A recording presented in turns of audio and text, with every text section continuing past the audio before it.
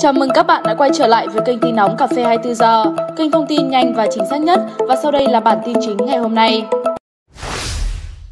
Kính thưa quý vị và các bạn, bảng liên triều Đà Nẵng sẽ trở thành cảng đặc biệt quốc gia như thế nào? Bà Nguyễn Thị Nga, Chủ tịch tập đoàn PRG, thay mặt đối tác, hợp tác đầu tư Sumitomo Nhật Bản vừa đưa ra những kế hoạch, lộ trình quyết tâm đầu tư xây dựng cảng biển Liên Triều trở thành cảng biển đặc biệt của quốc gia, có thể khai thác kinh tế cùng với những cảng khác trong nước như Lạch Hiệp, Hải Phòng, Cái Mép, Thị Vải, Thành phố Hồ Chí Minh. Đây cũng là những chiến lược phù hợp với chủ trương kêu gọi đầu tư cảng Liên Triều mà thành phố Đà Nẵng đang tiến hành. Cảng Liên Triều có lợi gần đường sắt, đường bộ, các luồng hàng hải quốc tế, gần trung tâm logistics sân bay, lại được đón mua hàng từ phía Tây, Thái Lan và Myanmar. Sở Giao thông Vận tải Đà Nẵng khẳng định lợi thế này theo bà Nguyễn Thị Nga, Chủ tịch tập đoàn BRG, được Văn phòng Hợp tác Quốc tế Nhật Bản CICA và tập đoàn Sumitomo nghiên cứu khai thác và muốn đưa liên kết liên triệu tiến lên cảng biển đặc biệt, cảng giao thương trung chuyển lớn nhất khu vực miền Trung, chắc chắn bên phía Nhật Bản sẽ nghiên cứu và đề xuất phương án khả thi. Và tập đoàn Sumitomo muốn tham gia vào sự quyết tâm cao nhất.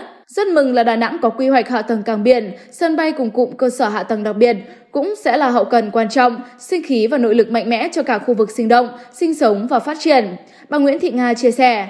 Cũng theo bà Nguyễn Thị Nga, PRG có một quyết tâm cao cùng với Sumitomo, làm cái gì đó cho Đà Nẵng sắp tới. Hàng trăm nhân lực có chuyên môn cao chuyên nghiên cứu về các dự án liên quan của Sumitomo sẽ tiến hành bắt tay nghiên cứu rất kỹ và sẽ triển khai nhanh chóng bằng hình thức thực của các nhà đầu tư. Về tiến độ đầu tư, ông Lê Quang Nam, Phó Chủ tịch Ủy ban nhân dân thành phố Đà Nẵng sốt ruột trao đổi thêm với các nhà đầu tư bên cạnh quyết tâm đầu tư cảng Liên Triệu Đà Nẵng song song kêu gọi các nhà đầu tư tiềm năng để khai thác cảng. Tại sao Đà Nẵng phải làm nhanh các cảng biển Liên Triệu để tận dụng các nhiễm mặn để bổ sung cho vùng trũng là rất thuận lợi. Nếu không sẽ phải đổ thải ra biển, lãng phí tài nguyên. Quan điểm của Đà Nẵng hiện nay là cảng biển, sân bay không chỉ để phát triển giao thông nữa, mà là đầu mối để phát triển đô thị, nên bên cạnh xây dựng cảng, Đà Nẵng cũng là đồng thời kêu gọi đầu tư khu đô thị cảng biển nên về phía nhà đầu tư cần tính toán kỹ lưỡng các phương án này. Đà Nẵng đang quy hoạch sớm toàn bộ phân khu, trong đó có nội dung về đô thị cảng, ba yếu tố cảng logistics, đô thị phải gắn kết với nhau. Ông Nguyễn Văn Quảng thông tin và thống nhất với nhà đầu tư, thành lập tổ công tác phối hợp giữa nhà đầu tư và chính quyền,